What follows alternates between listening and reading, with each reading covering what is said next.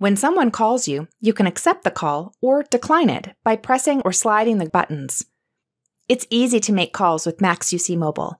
Open your keypad or dialer, the floating green button, from the phone tab to manually input any number. Then press the call icon. Or you can choose to scroll through your list of contacts, select a contact, then choose a phone number and tap the call icon to place a call. You can also return phone calls from the call history screen. During the call, you'll see a menu with your in call options, including mute, accessing your keypad, speakerphone, and hold. To add a caller to the active call or to transfer the active call, tap here. Then select the contact you would like to conference with or transfer the call to. If you're talking to someone with a video capable device, you can add a video to your call by selecting the More icon and then selecting Video. You can always turn it off and return to a voice only call. This option is located in the menu.